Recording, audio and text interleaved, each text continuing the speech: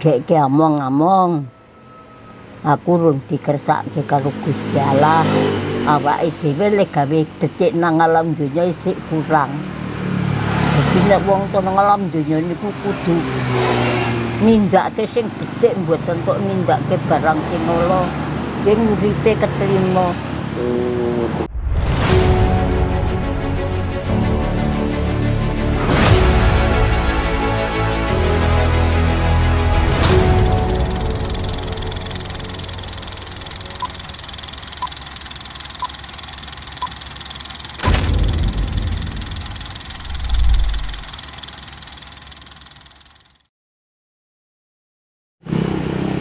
Mbah, nah carane supados mantep ngoten niku pripun, Mbah?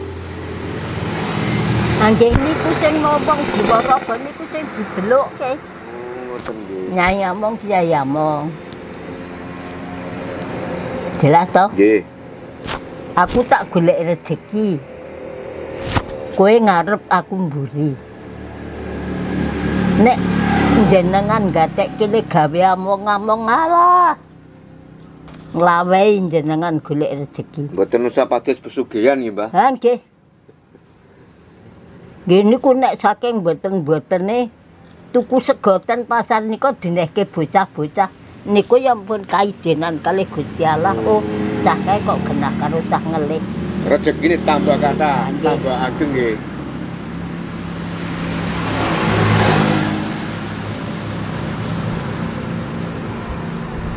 Nek sing boten wong wedok sing taune boten udut ra ajeng ngulapi latune mun ngeten kita. Nek kula mboten.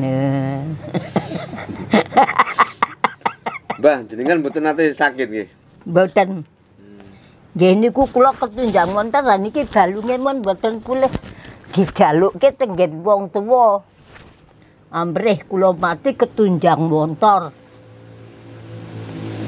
Saniki sing njalukke sing ajeng ngrangkul lemahe sing paune dinggoni prunan kula niku mboten saya diarep kalih kula nek laku muncul. Nggih, nggih. Jenengan sakniki nggih tasih sadian, Mbah. Nen Jenengan sakniki nggih tasih kula sadian. sakniki pun kantun dolan. Oh, Waune ya bakul jare. nggih. Wong niku nek nindakake temen kulaan kudune milih sing apik. Nggih. Nek diutangke waton gawehane apik, sing utang seneng terus nyarutang enteng. Ning nek dinggo pisan pindho dikumbah mboten rupa, ajeng nyarutang tak memeng to. Hmm, Utawa sing nagih ya isin. Jelas mboten. nggih. Kula nek tuku sandangan nek ning didoli sing ten ngarep nika ah mboten. Nek niku cape. Wonten sandes mboten. Nah, kula nek tuku jarik anggih niki. Nganti tekan nganu badhekane rak mbotenan. Dadi kudune sing kacek. Nek larang niku apik. Nek murah niku ya elek. Lah kok jenengan utangaken nah misale nek enten mboten enten sing nyaur pripun ngoten niku? Kula mboten nganggo tulisan ning batin Nggih. mutangke. Lah nek mboten enten sing nyaur pripun, Mbah? Ah mboten nonton sing nyaur adiloske. Mboten Mboten. napa-napa nggih. Tenggen tenggen Honda mun kula dadak tangan loro. Kula tentang tenggen Honda. Tega ora cekelan dada sing utang ra utang. Yetos. Mangke kalih sing kuwasa dijoli lek luweh Ha nggih. kathah malih nggih Mbah rezekine nggih.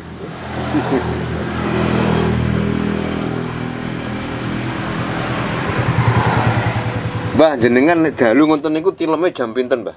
Kula mboten mesti, nggih. Tembung delalah nek upama ajeng wonten wong kepentingan nganu napa peristiwane niku ajeng kali kula. Kula mboten saged tilem. Mau dalu niku kula wangsul saking Bantul jam 3. Tekan omah nggodho pedang gawe wedang, wedangan.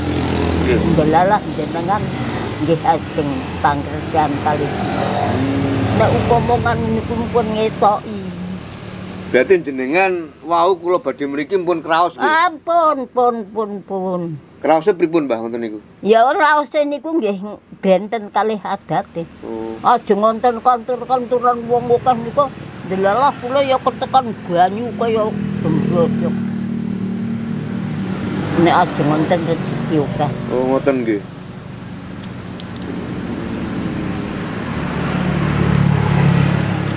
Ngoten niku enten sing nyanjangi napa pripun, Mbah? Waune waune sing akirangan kula wone ya menggatekke wong tuwa mbah kula niku nggih sing pun seda eyang blondong. Umure seda 162 tahun. Niku iso nglongok ten ngakhirat. Jaman riyen wong do betah ngelih. Betah ngelak. Bu, aku tak longok-longok. Engko nek aku isih arep ditampa karo sing kuwasa, aku mesti ora iso ngengake lawang kene iki. Ning kebon ya karo resik-resik bocah-bocah dikandani. Ning dalalah tesih saged ngengake lawang, Bu. Gek among-among. Aku rung dikersake karo Gusti Allah. Awake dhewe lek gawe becik nang alam donya isih kurang. Dadi nek wong nang alam donya niku kudu nindakake sing becik mboten kok nindakake barang sing ala. Sing uripe ketrima. Ngoten. Berarti ngoten niku tasik bangsa malih ten donya, Mbah. Pokoke lek gawe iki ten donya. Nah niki awake dhewe Ngomong ngeten iki Gusti Allah ra neseni.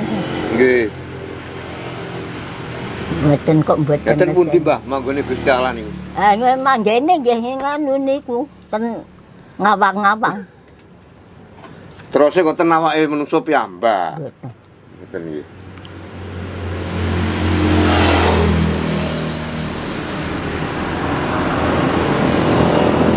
Kula niku ten wates kulaan bari. Belalah kula doyak polisi lima. Dalem bareng matur, Pak. Panjenengan kok sami nguyak kula. Enten peristiwa napa? Mboten napa-napa, Mbah, kula mau ngajeng nyuting panjenengan. Oh, Hmm. nggih. Nek jenengan ajeng nyuting kula, kula paringi rokok saler kula tak nyambut kursine Bu Lurah.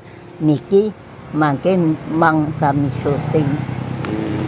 Nggih. Kula udut nyentor niku wong ten pasar do keplok-keplok gokong.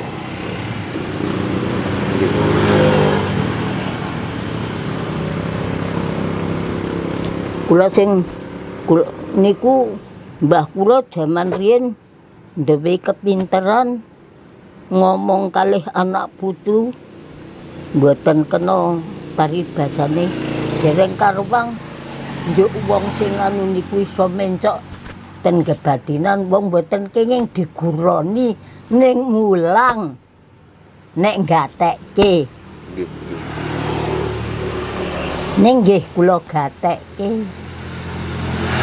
kula nindakke temen nek dapusi monggo ning nek kan ngapusi kula mo dicolong kono ning nek kon males nyolong aku Nggih. nggawe loro aku nek kon males nggawe loro sing gawe kula niki le njalukke teng Gunung Kucir kula tekani teng Gunung Kucir sing gawe kula. Kula tukokke kemul satu selawe di satu selawe niku abot nek ora ana sing didal ra ndewe Nggih. niku ngrika ya atrah keliputan kali sing tesih ajeng ge nganu malih diloroti saking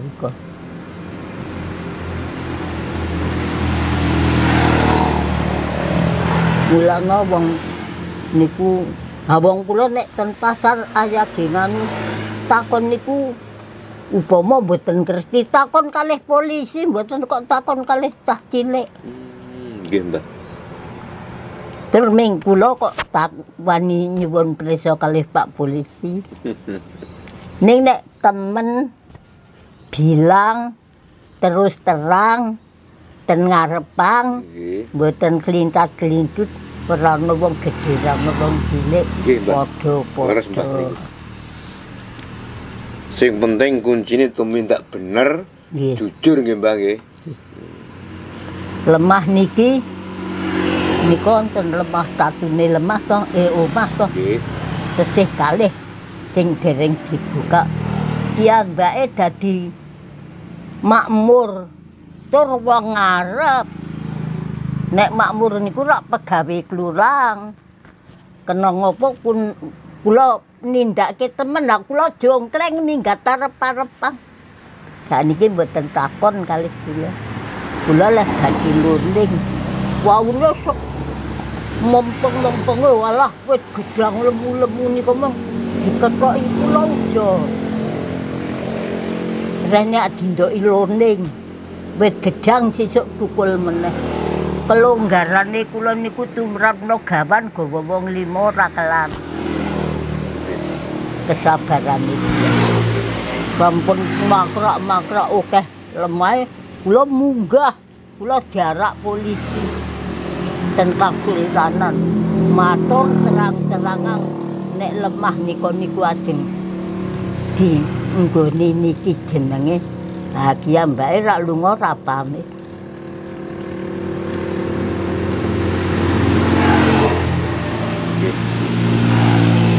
Nika pingenane ditanduri gedang kalih anak kula wit gedang dicepol. Kula rugi malih. Mboten pani benekke malih. Aku gedene makmur e cecone ora dadi makmur ya kur kaya aku. Niku nek wong Kuncine jenengan namung sabar mawon nggih Mbak. nggih. Sing penting temen. Sakniki pados tiang temen, tiang bener niku susah, Mbak. Mulan wong jen niku jenengan sak upami nggih. Ajeng gegoda wong sing mboten sak mestine mboten perlu digape. Mboten perlu digape. Nggih. Nek aya go sangar tinggal ngalih.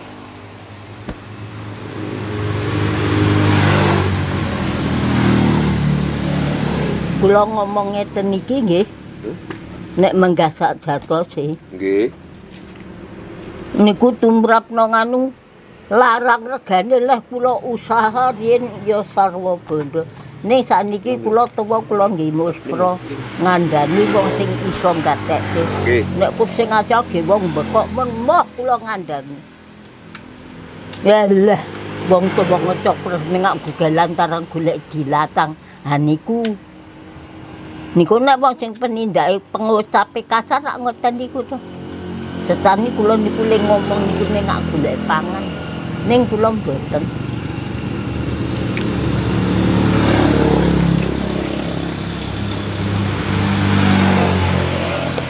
Yetos ngoten niku. Lah kula enten to. Nggih digambar kaya panjenengan. Ning sampun ketrima uripe Nggih. cocok kalih kanune. Mriki gawake beras 10 kilo, gawake napa mawon. Nukokke jarik, nukokke klambi ngenehi dhuwit. Niku nek wong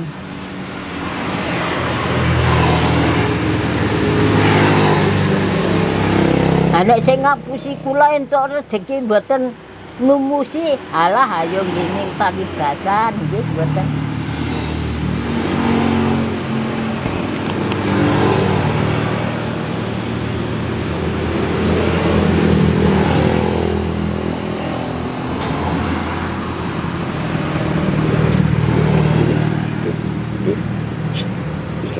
Niki kula ngomong sing sak oke-oke. Nggih, Mbak.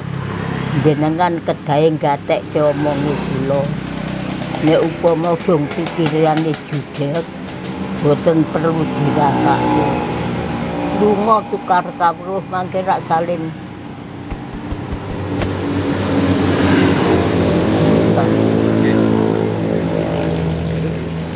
Nggih, Mbak, sampun motor sembah nuwun nggih. Nggih.